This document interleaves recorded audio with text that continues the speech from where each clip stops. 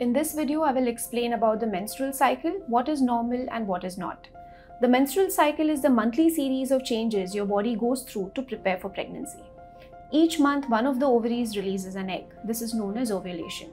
Around the same time, hormonal changes happen in the body which prepare the uterus for an expected pregnancy. If the egg that is released at ovulation is not fertilized, the lining that gets ready in the uterus is shed, and this is your period. Keeping track of your menstrual cycles can help you understand what is typical for you. So, what is normal and what is not?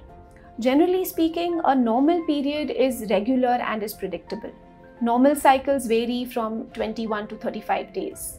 The day that your period begins is the first day of your period. The menstrual cycle duration is from the first day of one period to the first day of the next period.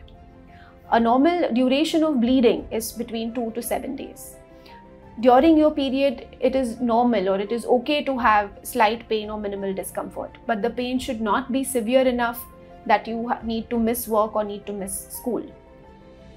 What is not normal is a period that is irregular or unpredictable or heavy uh, needing or heavy with the passage of clots.